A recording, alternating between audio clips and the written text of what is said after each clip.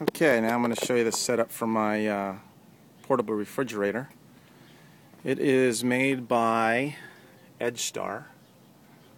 It's 43 quarts, they call it. Um, I've got it mounted uh, on a track, and uh, here's how it works. So the first thing I do is I undo the strap. Okay. And then um, come down here and I pull the pin. And now it just slides out.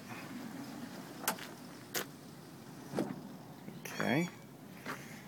Then I've got a battery tester and a I used an antenna mount, so we checked the battery. Everything seems to be alright. So I plug in the 12 volt that comes with the refrigerator. And then I just plug it into the supplied 12 volt outlet. The digital comes on. It's set for uh, 33 degrees. The compressor kicks on. There's some vents. That's what the unit is right there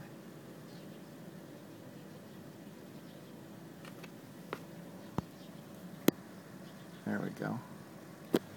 And then uh, come around to the front and uh, open it up. Looks like my light failed me. Anyway, I've got water in here for now. And uh, yeah, compressor comes on. There's a little light I mounted with a little pin switch seems to not be working. But yeah, that's how the cooler works. So you get nice cold beer or whatever you need. And then it just all slides back in. You're not using it. It's nice and flush with everything. It can last for about three days on a regular battery, regular car battery and I've got it plugged into my uh, solar panels. So uh, I've had it running for about five or six days now and not an issue. The solar panel keeps up with it and there's no problems.